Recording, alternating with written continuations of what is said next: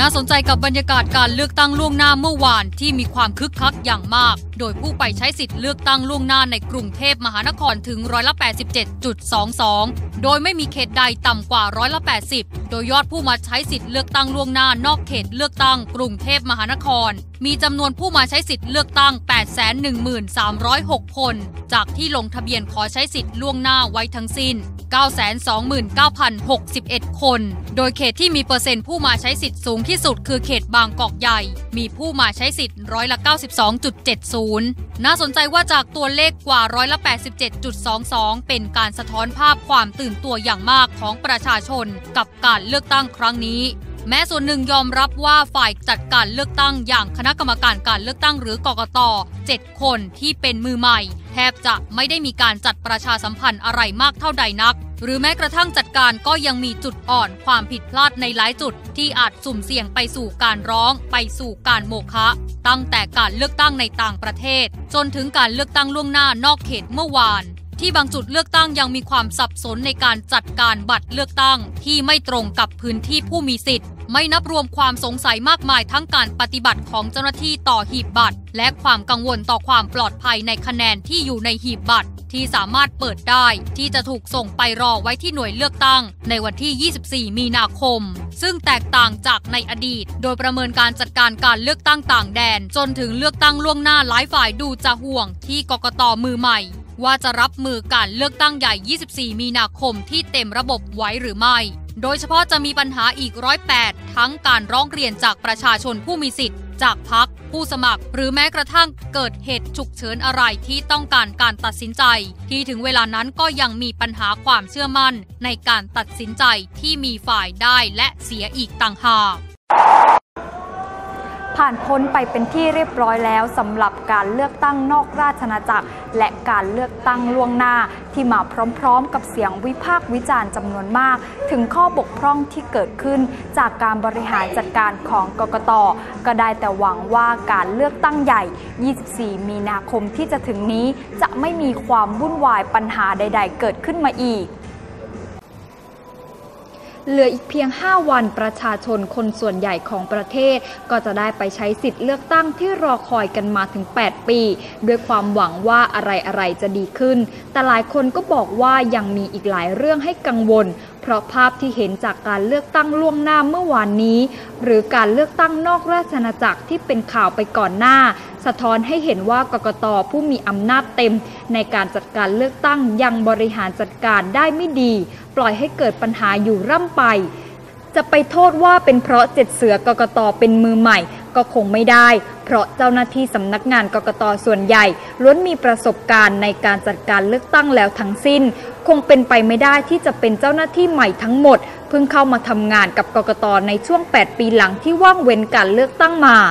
ปัญหาหลักที่เกิดขึ้นทั้งเลือกตั้งนอกราชอาณาจักรเลือกตั้งล่วงหน้า คือการรอคิวนาน ประเด็นนี้ถือว่ากกตสอบตกโดยสิ้นเชิง เพราะกกตรู้ล่วงหน้าจากการลงทะเบียนของผู้มีสิทธิ์อย่างชัดเจน น่าจะบริหารจัดการหน่วยเลือกตั้งได้ เพื่ออำนวยความสะดวกประชาชนได้ดีกว่านี้ และอีกอย่างที่ทุกคนลืมไป คือหลังจากนี้คงต้องไปแก้กฎหมายใหม่ เพราะในกฎหมายเขียนให้การเลือกตั้งล่วงหน้าทำได้เฉพาะนอกเขตเท่านั้นทำให้ผู้ใช้สิทธิ์ต้องข้ามเขตในการเลือกตั้ง จึงต้องมีการเดินทางไกลและไปให้เร็ว เพื่อจะได้ใช้สิทธิ์ เพราะบางทีหากมีเลือกตั้งล่วงหน้าในเขตตัวเองได้ อาจจะไม่วุ่นวายแบบนี้ ส่วนปัญหาการแจกบัตรผิดเขต ประเด็นนี้ก็คงเป็นสิ่งที่กกตควรจะแสดงความรับผิดชอบมากกว่านี้เช่นกัน เพราะรู้อยู่แล้วว่าเลือกตั้งครั้งนี้แยกเบอร์ รายเขต บัตรเลือกตั้ง 350 เขต ไม่เหมือนกันเลย ควรที่จะอบรมทำความเข้าใจกับเจ้าหน้าที่ให้เข้าใจ และป้องกันความผิดพลาดตั้งแต่ต้น รวมถึงเรื่องการไม่มีรายชื่อผู้สมัคร ให้ประชาชนตรวจสอบ ณหน่วยลงคะแนน ก็ถือเป็นความบกพร่องในการเตรียมการของกกตเช่นกัน 3 ปัญหาที่กล่าวมานั้นยังคงเป็นเรื่องปกติธรรมดา แต่ปัญหาต่อไปถือว่าสำคัญ คือเรื่องบัตรลงคะแนนในอดีต จะมีการพิมพ์ลายนิ้วมือบนบัตร และต้นขั้วเพื่อป้องกันการนำบัตรปลอมมาสวมสิทธิ์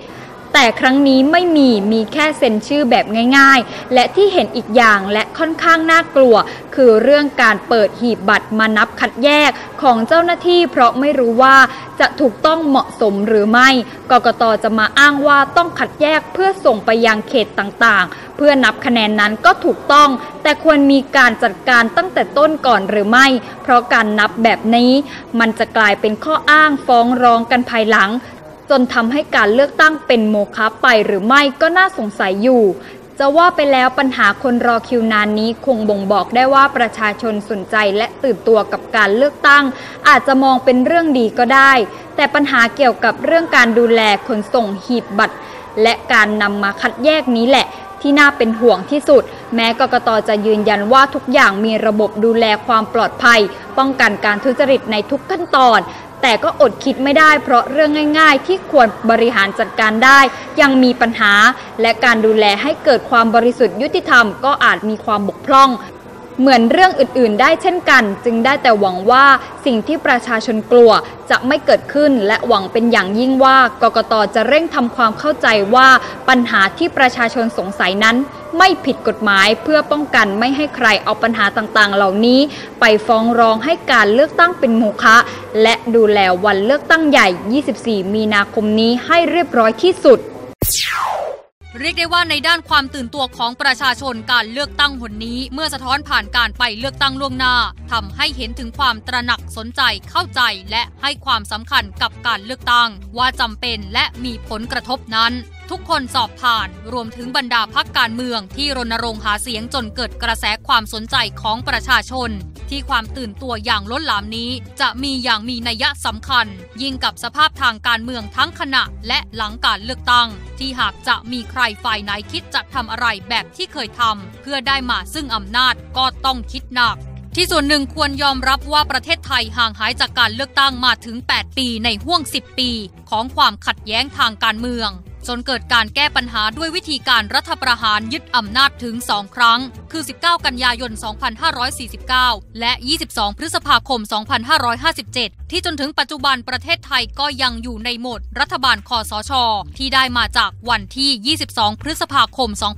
2557 ที่จะครบ 5 ปีโดยเป็น 5 ปีที่ส่วนหนึ่ง มีทั้งผู้เห็นด้วย กับการบริหารของรัฐบาลพลเอกประยุทธ์ และอยากให้ไปต่อ เพื่อสารต่อสิ่งที่ประกาศในการเข้ามาแต่ต้นว่าจะปฏิรูป โดยเฉพาะการจัดการกับนักการเมือง ที่มองว่าเป็นปัญหาความขัดแย้งที่ผ่านมา แต่ก็มีหลายฝ่ายอยากให้มีการคลายตัวจากอำนาจของคอสช และรัฐบาลที่มาจากการเลือกตั้งเข้ามาบริหาร เพราะมีปัญหาด้านเศรษฐกิจปากท้อง โดยภาพของบรรดาพักการเมืองที่เสนอตัวต่อประชาชนคนนี้ แม้จะมีภาพการไปต่อหรือสืบทอดอำนาจของรัฐบาลคอสช ที่ถูกมองว่าเป็นทั้งกรรมการและผู้เล่น เป็นตัวตั้ง จากทั้งสารตั้งต้นทางการเมือง ผ่านกติการัฐธรรมนูญ ที่อาจารย์บวรศักดิ์อุวันโน อดีตกรรมธิการยกร่างรัฐธรรมนูญแทนคำว่า เขาอยากอยู่ต่อ และสมศักดิ์เทพสุทินบอกว่า ออกแบบมาเพื่อพวกเรา หรือตัวองค์กรผ่านพักการเมืองนามพลังประชารัฐ ที่บอกว่าใครๆก็อยากมาร่วม เพราะชนะเห็นเห็นเหมือนแทงไฮโลเปิดถ้วย ตามที่สมศักดิ์ว่าไว้เช่นกันที่น่าสนใจคือการเลือกตั้งหนนี้ที่ปรากฏเป็นธีมคอนเซปต์ของบางพักการเมือง กระทั่งหลายฝ่ายพักการเมืองใหญ่ก็หยิบนำไปใช้ คือกระแสคนรุ่นใหม่ ที่จะเป็นผู้ไปต่อของจริง โดยมีรายงานว่าหลายพักการเมืองให้ความสนใจกับข้อมูลตัวเลขประชากร ที่การเลือกตั้งครั้งนี้ มีผู้มีสิทธิ์ 51 ล้านคนนั้น แบ่งเป็นกลุ่มที่จะใช้สิทธิ์ครั้งแรกคืออายุ 18 ถึง 26 ปีจำนวน 8 ล้านคน ซึ่งกลุ่มนี้ใหม่มากถัดมาเป็นกลุ่มอายุ 27ถึง35 ปี จำนวน 8 ล้านคน กลุ่มนี้มีพักการเมืองในใจ แต่เบื่อหน่ายและเปลี่ยนใจง่าย ถัดมาเป็นกลุ่มอายุ 36 ถึง 50 ปีจำนวน 15 ล้านคน โดยกลุ่มนี้มีความคิดเห็นที่มีความเชื่อ ผูกพันและจงรักภักดี กับพักการเมืองที่ตัวเองรักและติดตาม เช่นเดียวกับกลุ่มอายุ 51 ปีขึ้นไป ที่มีจำนวน 20 ล้านคนน่าสนใจว่าจากที่มีนักวิชาการบางท่านใช้เครื่องมือชี้วัดการเลือกตั้ง ผ่าน Google Trend ซึ่งประมวลผลผ่าน Big Data จากความสนใจของคนไทยจนถึงวันที่ 17 มีนาคม ช่วงโค้งสุดท้ายที่บรรดาพักการเมืองมีการหาเสียงอย่างเข้มข้น งัดกลยุทธ์นโยบายแบบหมดหน้าตักทางด้านการเมืองเศรษฐกิจที่เริ่มมีการตกผลึกพบตัวเลขที่น่าสนใจ กับความสนใจของประชาชนในพักการเมือง โดยเรียงตามลำดับคืออนาคตใหม่ เพื่อไทย พลังประชารัฐ และประชาธิปัตย์ โดยที่น่าจับตาคือพักอนาคตใหม่และพลังประชารัฐที่มีตัวเลขพุ่งสูงขึ้นเรื่อยๆ ในช่วง 6-7 วันสุดท้ายก่อนถึง 24 มีนาคม โดยเฉพาะมีการพบว่าเสียงของพลังประชารัฐ กลับมีการเพิ่มขึ้นหลังจากมีการแสดงท่าทีของหัวหน้าพักประชาธิปัตย์ทั้งหมดทั้งมวลต้องติดตามตัวเลขคะแนนดิบของจริงจากประชาชน ที่จะออกมาหลังวันที่ 24 มีนาคม ว่าจะเป็นไปตามข้างต้นหรือไม่ ที่ก็ยังมีสมการทางการเมืองเข้ามาเกี่ยวข้อง กับพวข้างและการต่อรองอีกหลายยก แม้กระทั่งการเดินไปสู่อำนาจที่ยังมีปัจจัยแทรกซ้อน ทั้งข้อร้องเรียน และการดำเนินการกับพักการเมืองที่ถูกร้องอีกหลายขั้นตอน ซึ่งถึงจุดนั้นทุกฝ่ายที่เกี่ยวข้องไม่ว่าจะอย่างไร ควรคำนึงถึงเสียงประชาชนที่ลงคะแนนให้ด้วยเช่นกัน